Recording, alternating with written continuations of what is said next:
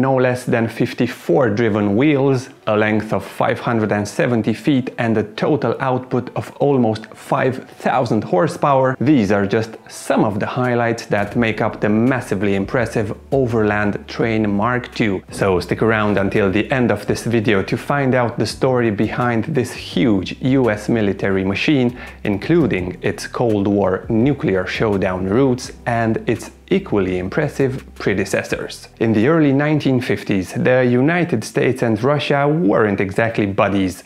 A nuclear apocalypse was brewing and the Americans needed a first line of warning to know if Russia was sending nuclear bombers over the Arctic Circle. So in 1954 the US and Canadian governments agreed to build 63 manned radar stations about 200 miles north of the Arctic Circle. This impressive array of radars would be known as the Distant Early Warning Line or DEW line. But after all of this was said and done, one question remained.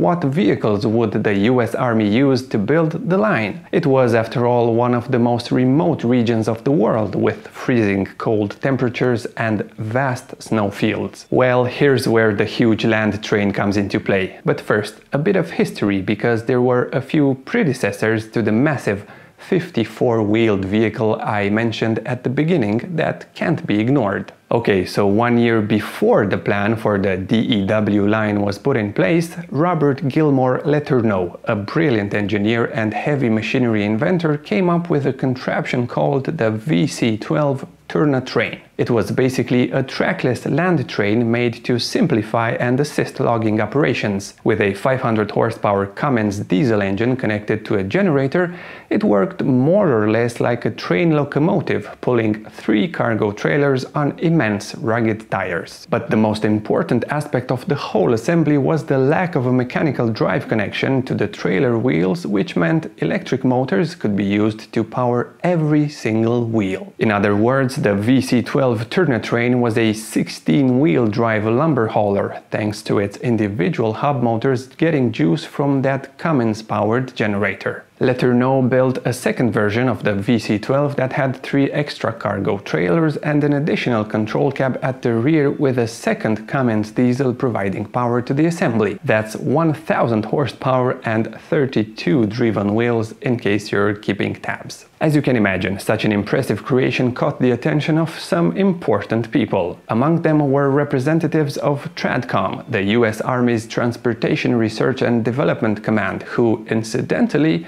were directly involved in building the DEW line along with the Western Electric Company. Tradcom thought this would be the perfect vehicle to help build the distant early warning line, so it convinced the US government to pay for a prototype control cabin built by Letourneau specifically for Arctic conditions. The result was called TC264 Sno-Buggy. It featured a 28-liter Allison V12 engine running on butane that powered a generator which in turn sent juice to four individual hub motors, each spinning a pair of huge 10 foot tall wheels. The snow buggy didn't have a suspension system and instead relied on the low pressure tires to cushion the ride. And speaking about these immense tires, four of them made their way on the famous Bigfoot monster truck in the 1980s. But that's a different story altogether. And since I'm at the different story part of this video, did you notice that YouTube's algorithm seems to favor channels with a lot of subscribers? So subscribe if you haven't already, it really helps. Getting back to to the snow buggy, it was tested in Greenland in April of 1954, where it excelled on the soft snow and ice thanks to the exceptionally large contact area on the ground. Subsequently, both the US Army and Alaska Freight Lines, the company contracted by Western Electric to transport their freight up north, were so impressed with the snow buggy that they ordered a pair of overland trains. Less than two months later, the Alaska Freight Lines VC-22 snow freighter was was done and in February of 1955 it was sent to Alaska to start hauling 500 tons of equipment for the DEW stations. The contract called for a single locomotive and six cars able to haul 150 tons, cross rivers up to 4 feet deep and operate at temperatures as low as minus 68 degrees Fahrenheit or minus 55 degrees Celsius. Measuring a total of 274 feet, it was powered by a pair of 400 horsepower Cummins diesel engines that fed generators which in turn juiced up the 24 hub motors for a massive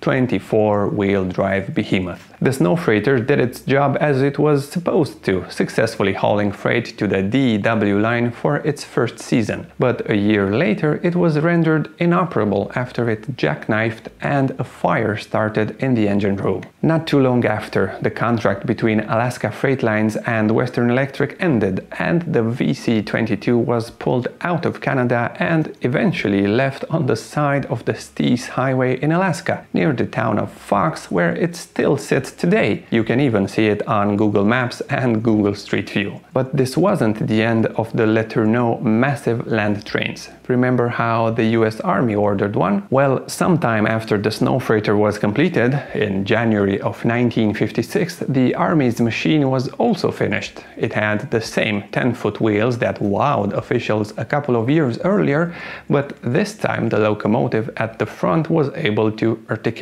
Letourneau called it the YS-1 Army Snow Train, but the Army referred to it as the Logistics Cargo Carrier, or LCC-1. Whatever the name, it was powered by a 600 horsepower diesel engine that sent power to all 16 wheels and it was capable of hauling 45 tons, which is a lot less than the previous VC-22 that was left at the side of the road in Alaska. But unlike the VC-22, this contraption served a longer and more successful service life being dispatched in Greenland where it hauled cargo all over the region from 1956 to 1962. At the end of its life it was abandoned in a salvage yard somewhere in Alaska for some reason, but luckily it was saved from the crusher and put on display at the Yukon Transportation Museum in Whitehorse, Canada, where it's also visible from space on Google Maps. This was the fourth installment of Letourneau's crazy land trains, but the US Army was so impressed with the capabilities of the LCC-1 that it ordered a successor. A last hurrah for this unmistakable piece of equipment, so big that it became the longest off-road vehicle ever made, the TC-497 Overland Train Mark II. It measured a massive 570 feet in length, which is almost as long as two football fields put together and it had 12 steerable all-wheel drive cars. The locomotive itself had a height of 30 feet and its six wheels were also powered.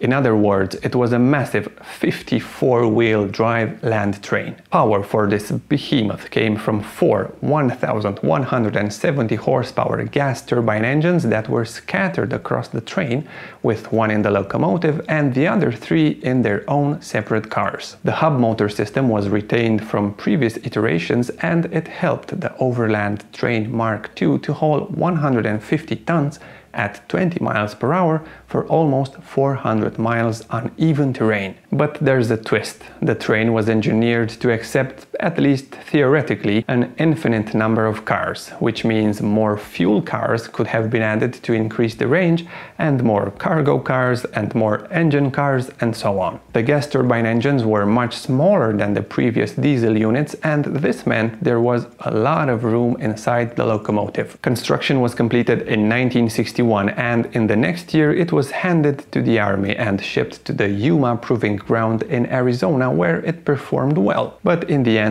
after all this effort creating a one-of-a-kind machine, the US Army retired the Overland Train Mark II, mainly because newer heavy-lift helicopters like the Sikorsky Skycrane were faster and more efficient at hauling stuff. After sitting unused for a number of years, it was put up for sale in 1969, but nobody bought it, presumably because of its $1.4 million asking price. Eventually, all the cars were sold off to a scrap dealer and all that remains is the control cab, which is on display at the Yuma Proving Ground Heritage Center. The Mark II and its predecessors represent an impressive chapter in the history of huge machine, but I'm curious to find out what you think so let me know in the comments below. Also, don't forget to subscribe and click the bell icon to get notified when I post new videos. Thanks for watching.